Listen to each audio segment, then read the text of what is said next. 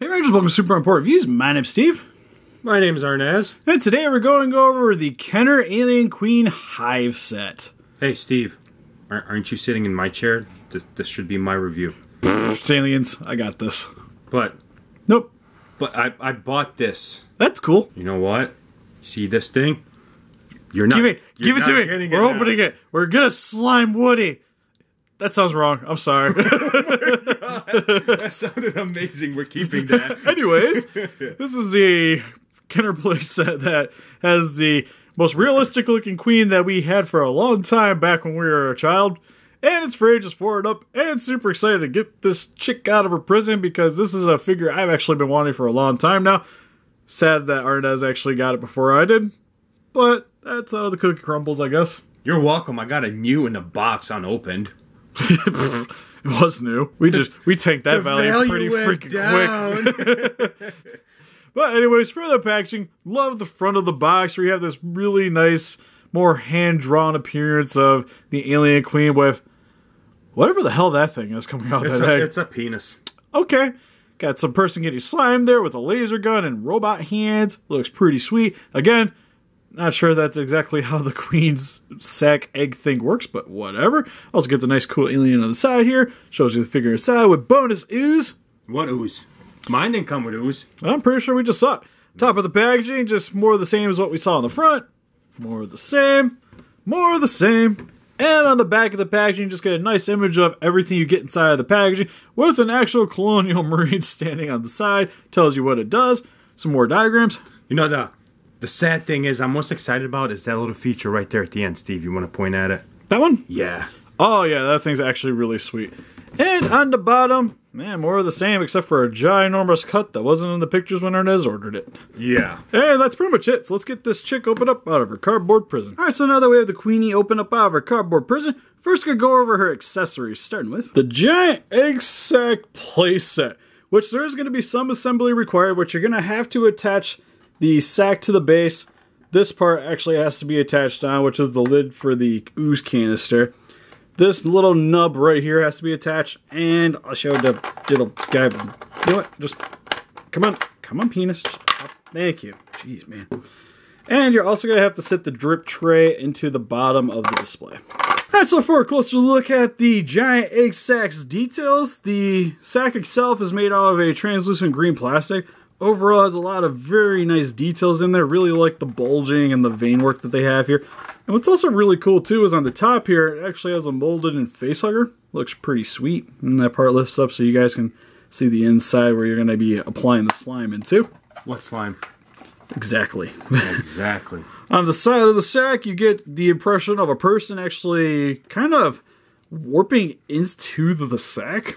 Which I don't know. Where's this? Like his feet? Where are they supposed to go? Like Yeah, they don't really have a bottom, do they? They just kind of broke them off and stuck them into the thing, I guess. Because there's not really a.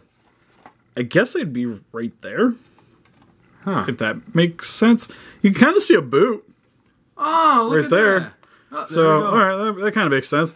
But then again, I feel super sorry for this person right here, then, because he literally is stuck for the rest of his life staring up at that guy's crotch. Look at this guy too. Oh, yeah, and the drip pan right here, which is actually removable, which, if I can get it out. There, we go. You guys can get a little bit of a better look at the person inside of there. Which overall, super creepy. Not sure why he's in the floor, though, because that part's actually a little weird. Don't forget, this thing has peg holes in it where you can put the character stand. Yep. Which uh right here. So when you have the sack over top of them, you can glue into them, which I'll show you guys here in just a few. Do we have a character that fits in there? Yes, I do. Sweet. I actually have a couple. And for the rest of the detail work here for the base looks really nice too overall, where you get that very alien appearance that you saw in the sections of Aliens, where the Colonial Marines are actually going through the facility and they've already converted into their hive. And overall, the base here kind of helps to replicate that sense, which is pretty sweet overall. In a really good way. Yeah, you also get a nice alien egg here, which a chest burster comes out of for reasons. But overall, still pretty sweet. And then also what's the coolest accessory is right here you notice that there's a peg hole. Which what this actually comes with is on the queen here. There's actually a little peg that kind of slides into the back of her butt here. So you slide that onto there. And then you just peg this right into the hole. And the queen sits on the back of this thing, so you get to help replicate that scene from the film where she's attached to it. Overall, actually looks really sweet. And also like, too, that she could just slide right out of there, too, so you don't really have to worry about breaking it. So, really cool accessory. And then for the next accessory, we have Arnes's little helper, friend, whatever you want to call it. All right, do do explain this to me. Is why is there a chest burster coming out of the egg? Um, I'm gonna assume they've never seen the movie. Or is that even a just what- chest burster? What is that? Yeah, because it has arms. Like right here, you'll notice that there's actually some molded arms in there. Which looks really good in details. Yeah, like I actually like the details. Like it's super creepy. And again, for a kid's toy, this thing looks freaking terrifying. Like even the nice gnarly looking teeth inside of the mold, the tail's kind of wrapping up into the back of the head. Which I did think that this was a spine for the longest time, but I'm pretty sure it's the tail and it just kind of curls up into itself. But overall, they did a really great job at molding that in whatever this is supposed to actually be. Okay, what's up with that ball at the bottom? Okay, so that is essentially molded so that you're actually able to sit inside of the base. Because what you do is you take your little chest burster, stick them in the egg here, and you just leave them alone. And then you'll notice right here, Steve, I want to push the button. you want to push the button? I want to push the button. All right, push the button. But right here, there's a little lever. You just kind of flick down on it. But next, we'll go over the Queen Alien here, which is actually the most accurate looking Queen Alien that we get out of the Kenner line. Like this thing, actually, overall, minus the weird whippy little tail on the back of it, which just kind of goes wherever it freaking feels like. Which you also had to attach to when you get out of the packaging, but again, we kind of were not smart about it and attached everything before we did this video, and Well- the stuff doesn't really want to come out easily. It's not the smart part. It's just that we got real excited about this. Yes, you're like, woo, aliens. But for the detail work for the head crest, actually looks pretty decent overall, where it's this really nice jet black with a lot of great molded details here to help replicate the crest that you see in the film. Other than that section right here is a little bit of an eyesore. Which I don't know what that is. What is this supposed to be like? Um, I don't know. I think that's just where the top of the crest slots into the neck, I'm assuming, is what it looks like. so they just left it like that? Yep. And then it's an old toy, so it's not like this was expected to be played with heavily, so kids don't really care. As a collector, though, not the most clean looking thing, Appealing but still thing. works good. And then also for the face sculpt here, looks very nice too. We get that nice metallic silver for the teeth. You can also see a little bit of the mini mouth on the inside of her larger mouth. And what's actually cool too is when you rotate her head, it actually shifts along with it. That's actually probably my favorite thing about this figure. Is it just kind of helps to give it that appearance like it did in the film when it starts rotating her head, and it looks really cool. Which I don't understand why like the NECA one doesn't have that. Um, stupid huge figure, and it's kind of to be a lost gimmick on something that's just going to stand on your shelf. This is expected to be played with, so it's kind of nice to see it replicating those movements. Little did they know that's gonna go on my shelf and never be opened again. Jokes on you, Kenner. Ah, no. And then for the rest of her body, looks pretty good overall too. Again, has a lot of nice molded skeletal details. Has those extra little hands flailing out from the front of her chest. And. Yeah, and then her larger arms on the side, which again, very accurate for the queen. Even has the spine sticking out of the back here too, just like you would have seen. Overall, especially for it being a slimmed down version, still looks really good. Can you move that thing itself? These things? Yeah. Uh, no, they're pretty well fixated in. Then I'll show you guys the rest of her body work, and then for her legs, overall look nice too, with her fancy little stilettos on the bottom. You're just jealous because the queen wears the boots. Yeah, I'm fancy of her footwear. Looks really great overall, even with her little tail with the nice spike protrusion at the end. And overall, for how cheap this feels, because again, it's an old action figure, it doesn't really feel super secure and firm, especially compared to the other Queen. But then again, the other Queen isn't very movie accurate, while this one definitely harkens a lot more back to the Aliens film. Oh, so you're saying when that Kenner queen comes in that I order, I'm gonna be disappointed? Yeah, she has six arms. What? I got her in the box. I'll show you guys in comparisons. But overall, for the details, looks fantastic on this figure overall, especially for how old it is. And for articulation, I could look a little bit to the left, a little bit to the right. And again, this little section here moves on its own. Arms can rotate all the way around. but that's pretty much it there. These little arms on the insides don't move at all, so they just kind of sit there and look pretty, I guess. Creepy, not Yep. pretty. For her legs can move a little bit forward, a little bit back, but the plastic here is going to hinder the movements. And then for the whippy tail, just swings side to side, but it's not really fixated in there, so it just kind of moves on its own. Okay, so next we're going to show you guys how you set up the ooze. Which first you're going to want to grab a Kenner alien figure, which we grabbed Ripley here because it seemed fitting. Right here, you'll notice that there's some pegs sticking out from the base here. You're going to want to insert in the peg holes in the bottom of her feet. You're not going to be able to get both her feet into them, so you just kind of pick one and go with it.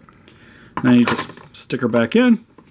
Which, actually, I'm going to stick her in a little bit farther just so when the ooze comes out, it's going to definitely go into the pan here. Yet again, I really don't know what you're talking about the ooze. I seriously do not know. And then we're going to take the ooze. You're going to want to lift this section up. Yes. Hand it over. you kidding me? This is half the value of that. Hand it over. Is this unopened? I know. The, the unopened part, definitely. You still have it. It- You'll still have it. It'll be good. But It still has ooze inside of it. You No. can reseal it. I got Teflon tape. no. Hand it over. Uh uh Yep. No. Yep. 25 minutes later. And I got a hold of it, guys. You're gonna hear Arnes crying in the background for a second as I try to peel this back. Or you're gonna hear Steve crying Uh. because I'm gonna stab him. Ugh, there we go. Ow. Ow, stop it. I finally got it Oh, off. son of a! Woo! Oh, There we go. Got it off. Gonna pop that my bad boy forty open. dollar ooze. Hold on a second, gentlemen. Watch, it's gonna be dried up. Oh yeah, that's what I'm waiting for. It's gonna be garbage. God. Well, whatever it is. How the hell are kids supposed to open this up? Oh. Well, it's definitely gooey. Ew. Oh, making poopy sounds. um, I don't know if that's gonna go through. Well, let's try it. Stick the ooze, drop it in there. There we go. Good to go. Then we're just gonna slide this open. Maybe Maybe. in due time. Here, I got a solution. Poke at it. just start jabbing out with my finger and hope for the best. Eh. Should have kept it in there. At least it was worth the money. Fit through the hole, damn you. they probably could have added some water to it. Yeah, that's what I was thinking. Because it is water based uh, uh, solution, so. Probably just need some more water. Alright, coming back. Alright guys, we got the concoction working. Oh, it's all over my But- hand. but uh it's not pretty, so we're just gonna wing it, see what happens. Oh god, it's dripping on his face. Stripping out Woody. Also, we swapped out Woody for uh, Ripley for Woody because we got one shot on this. We wanted to make it worthwhile, so here we go.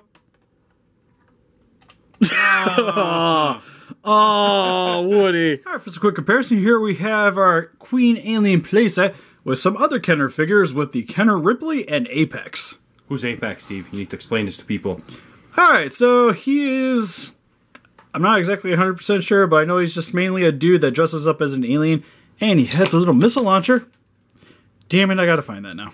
and here we have the playset with some Kenner Predator action figures with the Elder Predator and the Alien Predator playset. Okay, two things. One, you stole my comparison. And two, why are these in boxes? You can't compare them if they're in boxes, Steve. Yeah, I can. people can see that how much they compare in size. I only have them in packages, man. What more do you want from me? Open out here with her, just like she is. And for some other comparisons, here she is next to the Queen face hugger and the Alien Queen, the one with the six arms, right? The weird one. Yep. You guys can see in the packaging. She has six arms total. Okay, w- yet again, we need this outside of package, Steve. Outside. Moving on. And for this weird comparison, we have the NECA Queen, which is the sad thing to mention that they're almost close to the price. Sad, right? Yeah. And here she is with the McFarlane Alien Queen from Alien vs. Predator, which is actually not a bad scale comparison. So overall, with the Kenner Alien playset, I think this thing's actually pretty sweet overall, especially if you're a big Kenner fan, because it's definitely the most movie accurate alien you're going to get out of the set. Plus, it's one of the only real playsets that you can get with the actual egg sack attached. What I really love about this is all the little gadget and little things that it comes with that actually makes it all like together look amazing. And it so worth the price to me. I mean, I don't know how much it was when it came out first, but right now, I, I have no hesitations buying this or no regrets at all. Yeah, we picked it up for about 75 bucks, which seems to be a pretty reasonable deal for this figure after inflation. It being a slightly harder Kenner figure to get a hold of. Then again, even though some of the stuff on it isn't quite accurate to the alien lore, but then again, the Queen is still awesome to look at. Yeah. And just in and just in general, pretty sweet set. My favorite thing about this place playset, Steve, that it's mine. Ah, keep rubbing it in my face. One day you'll be mine. One day. At least I got you to open the slime, so that just makes it worthwhile for me, anyways. Yeah, it was a half the value of what that thing was worth. And what did you guys think of the Kenner Alien playset? Please let us know in the comment section below. And we'll also have some closer pictures of this on Facebook if you want to click the link description below. And help us defeat those kaijus by hitting that like button. Subscribe, become a ranger today, and we'll see you guys in the next video. Bye bye. Woody making appearance, see? Woody's waiting. He's waiting for the ooze.